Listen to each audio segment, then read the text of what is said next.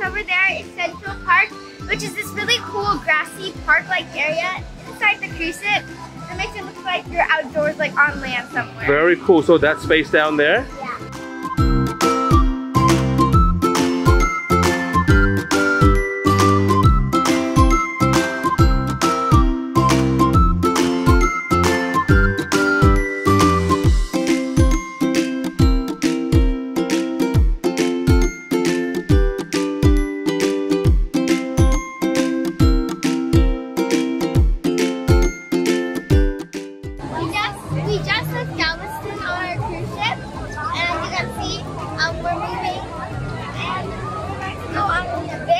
One of the most popular rides on the cruise, but we couldn't do it earlier because it was raining.